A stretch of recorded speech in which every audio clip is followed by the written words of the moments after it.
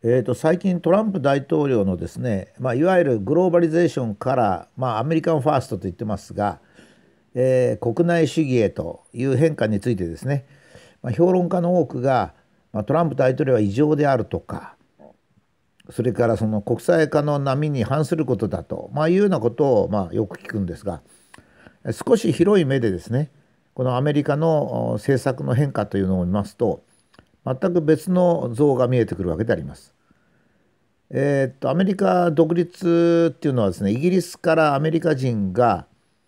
えー、東海岸に漂着しそこで新しい国を作り始めたのが最初ですね。ですからイギアメリカ人ってイギリス人なんですけどまあそれはあの移民をものすごく受け入れたんで今ではイギリス人の比率が少ないんですけども基本的にはイギリス人なんですアングロサクソン民族から言えばアングロサクソンですね。まあ、18世紀にイギリスから西に進んでこれが大事なんですけど西に進んでアメリカに到着しなぜかって言ったらイギリスから見てですね、まあ、そうイギリスから逃げる人たちなんですね。イギリスの中にはいたくないというんで逃げる人たちなんですがイギリスからまあ北は北極海ですからこれダメで寒くてですねそれから東は、フランスドイツに当たりますからこれもダメで南はまあ大西洋ですから全然陸地はないということで、まあ、行くとしたらイギリス人が逃げるとしたらやっぱりアメリカなんですねそれだから西に行ったわけです。まあ、その時にアメリカ人っていうか逃げたイギリス人が西に行く癖がついちゃったんだと思うんですね。まあ、慣性の法則っていうんですけどこの何でも物理でも何でもそうなんですけど一回動き始めるとなかなかそれ止めるの大変でですね、まあ、人間でもそうなんですけどまああの成長して教育受けて社会に入って家庭作ってとかって一回そういう流れができるとですね違うことを思い出すことすら思い浮かべることすら大変なわけですね。ですからまあそのままいっちゃうんですけどもそれで、えー、実際はどうなったかというとですねえー、13州をアメリカの大陸の東部に作りましてワシントンとかニューヨーク作ってですねそしてそこから少しずつ少しずつインディアンを殺しながら、えー、アメリカ大陸を西へこれもまた西なんですけど西へ横断し始めるんですね。でまあ最初はインディアンとのいざこざが随分多かったんですけどインディアンを全部騙してまあ騙し方は結構単純なんですね。インディアンは人がいいのでまず先遣隊がインディアンの部落に行って大いに人がよくいいことを示して酒も飲んでそして僕ら仲良くしようよっつって帰るそのうち今度は、えー、インディアンをインディアンの酋長をこう招待するんですね酒の席に。そまあみんなで大いにあの酒を飲んでそれで酔っ払って寝たところを刺し殺すと、まあ、こういうのを繰り返して、まあ、少しずつ少しずつ内部に侵入するんですね。でまあそのうち今度はメキシコにぶつかるんですね。えー、これがまあテキサスあたりでメキシコにぶつかるんでこれはもうなかなか相手も近代軍持ってますからすぐ騙すわけにもいかないんで、まあ、これでメキシコとアメリカの戦いが起こります。これまあ象徴的にはアラブの砦の戦いなんかそうですねリメンバーアラブ。それで、えー、まあそれをやっつけて、えー、次々とカーボーイが西に行ってですね1850年にはですね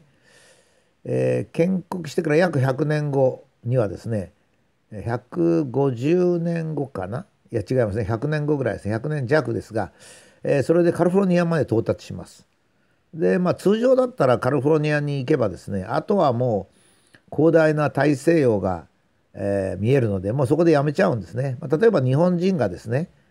えー、西のシナの方には行ってもですね東の太平洋渡ってアメリカまで行くっていうことは普通はあまりないわけです。まあジョン万次郎なんて人もいますけど普通はあ近い方に行きますからね。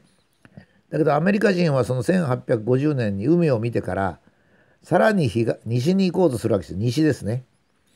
それで、えー、大体50年後の1900年にはどういうことが起こったかっていうとハワイをハワイの王朝を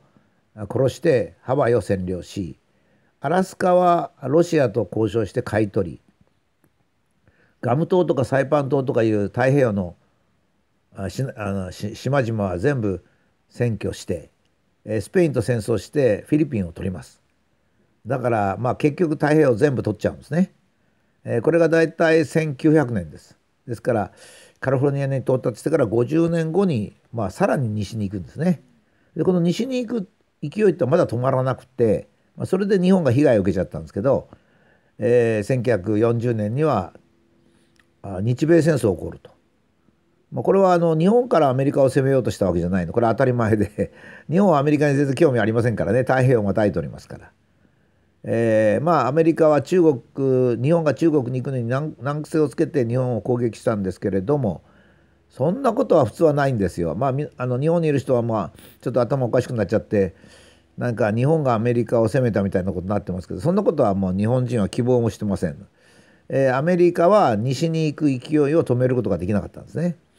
それで日本と戦争し次朝鮮戦争朝鮮半島まで行って朝鮮で戦争し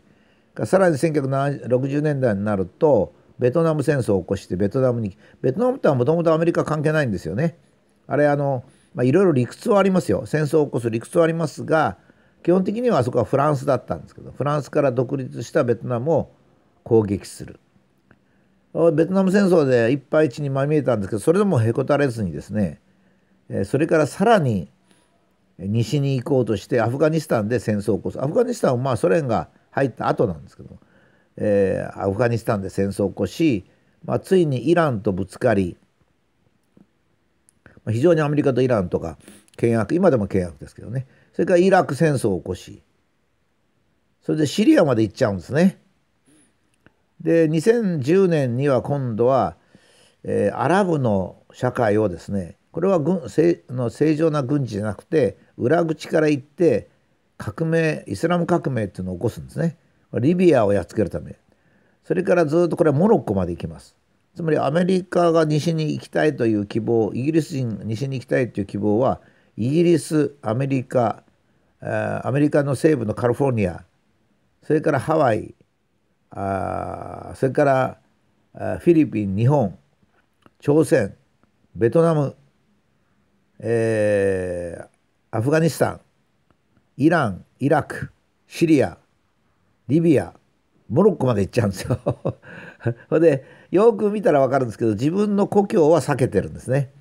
つまりヨーロッパを避けて世界一周しちゃったんですよ。それで結局西へ西へと行くと地球が丸いもんですからね地球が平たかったらそういうことないんですけど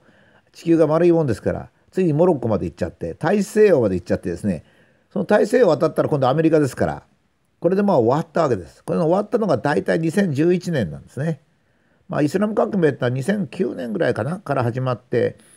2012年ぐらいまでかかったんで、まあ、12年のちょっと誤差あるんですけど2011年についにですね